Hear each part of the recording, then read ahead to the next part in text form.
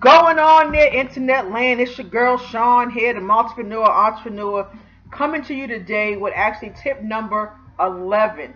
That's 10, one more, 11, 10, 11, 11. The 11th tip today of staying motivated. And I'm not sure if you can hear, um, usually it's nice and quiet, but I got a little music going on in the background. It's what kind of helps me get through the day. Um, something that you can't always do when you're working a nine to nine to five. Not knocking it, just something. It's just one of the advantages of being home. So today I want to come to you with tip number 11, which is don't compare yourself to others. And sometimes as entrepreneurs, we look at what other people are doing and we say, oh, I, I want to do that, or I wish I could do that, or I need to do this, or blah, blah, blah, whatever it is. But don't compare yourself to others. Stay in your own lane and do what you were assigned to do. Maybe what someone else is doing is what they were assigned to do, and that's fine. Your assignment may be different. So whatever it is you need to do for your business, to market your business, um, do it. And don't worry about what everybody else is doing. As long as you're doing what you need to do, you too will see that success that you're looking for. Just continue every day to write down those goals, write down your plans for the day. What do you plan to conquer today? And then just do it. Again, the tip is do not compare yourself to others. It's a no-no. So I hope you've enjoyed these 11 tips over the last few days on how to stay motivated.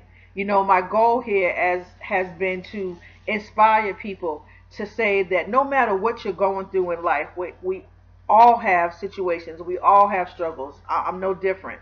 Um, you know, just a few days ago, I celebrated the anniversary of my mom's um, passing.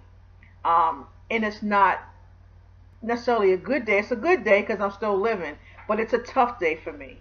Um, but you know what? I got up and I did what I had to do in for that day. So, you know, I hope that, again, that these videos motivated you. I hope they inspired you. I hope that you will share them with others. I hope you will take heed to them and really put them to work for yourself. Again, it's your girl Shawne, a multipreneur, entrepreneur, coming straight from our home office.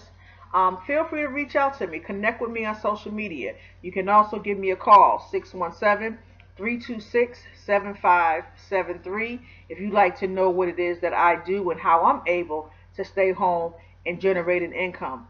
I'm all about helping others and showing others how to create generational, not just generational wealth, but also global wealth.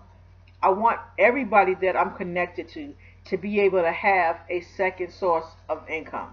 So again, reach out. You can find me on Facebook.